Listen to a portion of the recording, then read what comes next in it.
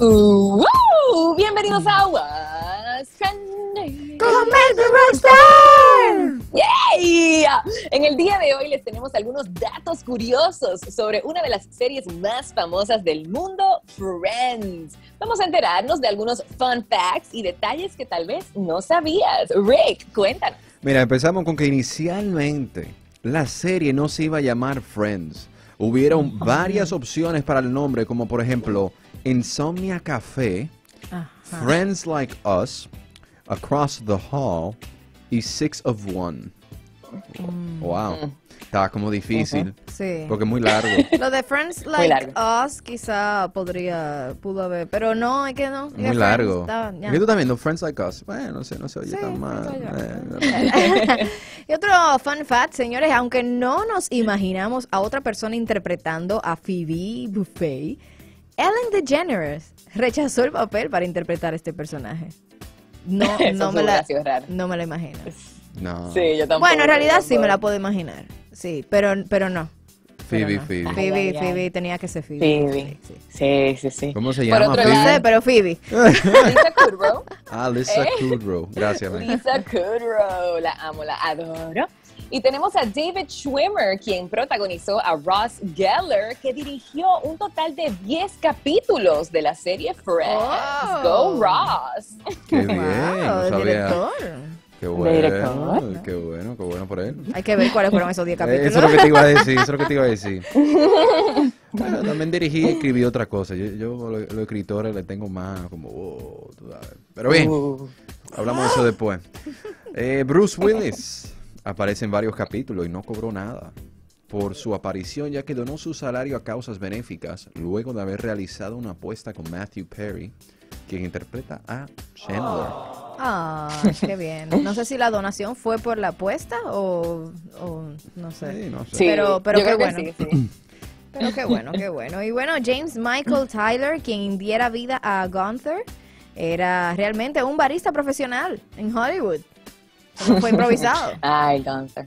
Ay, Gunther. Dios mío, señores, yo amo Friends. Wow, wow, wow. Solamente Yo- leyendo esto. Ni idea. Ay, ay, Yo ay. no sé quién es Gunther. Y ¿no? Parece que el que atendía, el que atendía El en el café, ¿verdad? En el café. Ah, el rubio, Ujú, claro. El rubio. No, totalmente, sí. el rubio.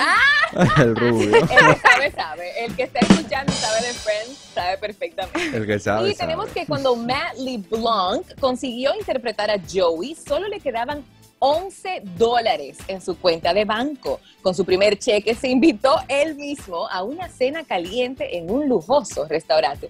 ¿Tú te imaginas eso? O sea, Wow. de, cien- de, de 11 dólares a millonario, casi de un día Eso para es peligroso, eso es peligroso. Sí, pero no fue de día para otro. No fue de No, día para no. otro porque el programa. No, no, poco a poco, pero mucho Claro. dinero. Sí, sí, pero qué bien, yo lo Mucho felicito. Yo, yo admiro gente Qué que estaban así en el borde de, de nada y después Después, ¡Pum! Dan el Y palo. no dan el palo, perdió, pero y no mantienen el palo. Sí. Mantienen. Él lo ha mantenido. Él, él Sí, no, sí, Sí, sí. él se ha mantenido. Seriedad total. Sí. Ah, mira qué bien, Ujú. qué bien. Felicidades, qué bueno, qué gran muchacho bendición. bueno, él, yo hablaba con.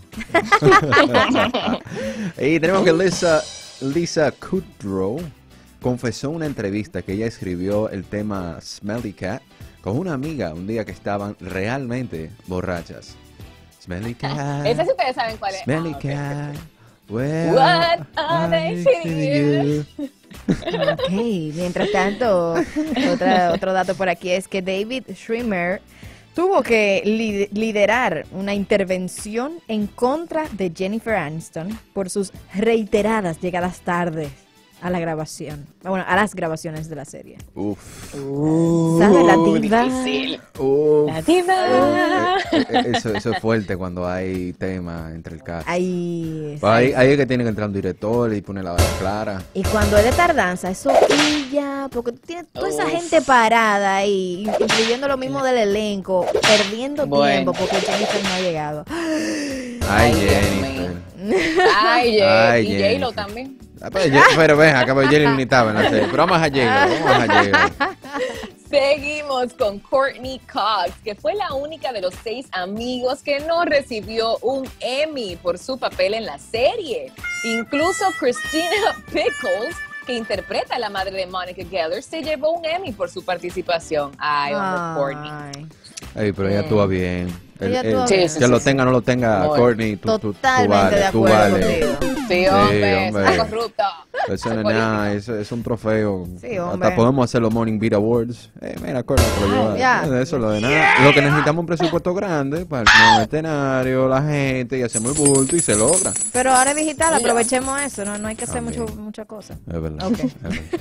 El final de la serie, ah, pero, eh, sí, el final de la serie le causa tanta ansiedad a Matt LeBlanc que empezó a fumar cigarrillos de nuevo. ¿En serio? Ah, Eso es válido, el tío estaba de que vamos a picar. Qué fuerte. Diez años. 10 años, sí, sí, es una poca cosa. Y por último, el muy famoso corte de pelo de Jennifer Aniston fue creado accidentalmente cuando su estilista y amigo Chris cortó su pelo con una navaja de afeitar. Pero, ¿cuál, entender cómo fue ese accidente. May, ¿cuál fue el Un peinado? accidente El que como en bueno, capa, ¿verdad? El peinado, el real peinado. Óyeme, todo el mundo en esa época iba para Los el salón 90. y decía, yo quiero el cabello de Jennifer Aniston. O sea, la conocían por eso. Ella hasta se molestaba en entrevistas porque solamente le preguntaban de eso. Y ella, señores, pregúntanme de la actuación, no del cabello. Sí. Sí, Pero sí, sí, es, es- es como el, de, el que en capa, ¿no es? Mucha capa, como fu, fu, fu, Sí, fu, sí, fu, mucha capita. Mucha capa. y hasta aquí, señores, el What's Trending. Woohoo! Cuéntenos en las redes sociales at The Morning Beat RD. Van a ver el Friends Reunion que ya sale este jueves 27 de mayo, pero claro que sí. Coca, Leca, Tolo Power, estamos ready. ¿Estamos ready? Vamos a ver qué dicen, qué Ah. dicen en las redes. Vayan, at The Morning Beat RD. Yo quiero saber qué tanta gente lo va a ver. Sí, sí. Y cuando regresemos, señores, vamos al Sports Beat y vamos a ap- a aprender sobre. eh, estoy seguro que estoy leyendo esto. Sí. Esgrima. ¡Esgrima! ¿Qué es eso? ¿Cómo así, Rick? ¿Qué es eso? Yo tampoco sé. ¿Qué? No, no, Quédense ay, ahí, buena no, música. espérate, espérate, esta gente está desubicada. ¿Cómo nos dejamos tanto llevar por lo que vemos en las redes? Y eso es lo que construye nuestra opinión acerca de los demás. Y por lo tanto, la gente se crea estas máscaras constantemente porque saben que esa, esa es su identidad. Ya no es, eres tú como ser humano, es lo que tú muestras en las redes. Y eso es muy triste. Bueno,